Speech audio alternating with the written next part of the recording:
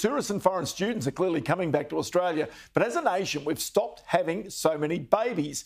That's one story from the latest snapshot of our population from the Bureau of Statistics today.